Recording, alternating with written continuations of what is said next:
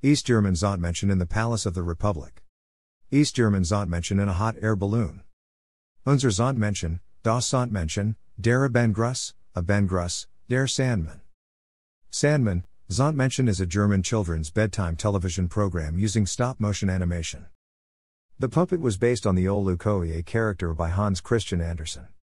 Two versions of Sandmännchen were created, one in East Germany, and one in West Germany.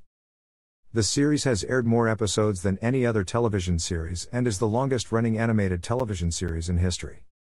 The West German version of Sandmännchen did not last as long as the East German version that today's German children know as the only one. The original idea came from Ilse Obrig of West Berlin TV and radio station Sender Freies Berlin, who, with the help of author Johanna Schüppel, developed a working version in 1958. The Little Sandman himself first appeared on screen in West Berlin and Sandmännchens Gruß vor Kinder on December 1, 1959, and other episodes were soon made.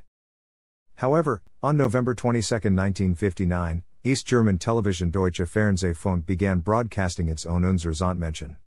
Complete with its own Goodnight, children character, also called Sandmännchen. Created by the puppet master and director Gerhard Behrendt, the East German show represented everyday life, travel, and fantastic adventures. The character often showcased socialist technological achievements, such as the use of awe inspiring vehicles like futuristic cars and flying devices.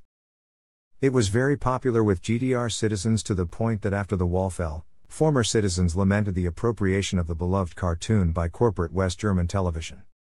The production of the West German version of Sandmännchen ceased in 1991, following the unification of Germany. The East German version was ultimately more popular, and repeats of episodes are still broadcast today. A full length feature film, The Sandman and the Lost Sand of Dreams, was released in 2010. Gerhard Behrendt in 1979 with one of his Sandmännchen. Wolfgang Richter composed the theme to the East German program in just three hours one evening. Wolfgang Krumbach wrote the text.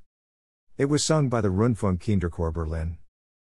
Opening verse, translation There was a second verse which was dropped after the German reunification because it mentions the East German Fernsehfunk which no longer existed. Translation, closing verse, translation the score and overall design of the show was remarkably elaborate for a children's television production. The Sandman often visited other countries, and this fact was frequently emphasized by the use of traditional instrumentation and harmony added to the score. The East German show was shown in many countries, including Western countries like Finland, Sweden, Denmark, and Norway. The show was named John Blund in Sweden and Norway, Nukkumatti in Finland. The theme song in Norway went as follows In English, this means, the first verse of the theme song in Swedish was, in English, this means, the theme song in Finland was, in English, this means, the. Sandmännchen stories contained a number of characters who remain popular today, even after German unification merged the former German Democratic Republic into the Federal Republic of Germany. The Sandmännchen has retained a following, and it continues to be shown every night on German television. Periodic references have been made to it in film and literature. Thanks for watching.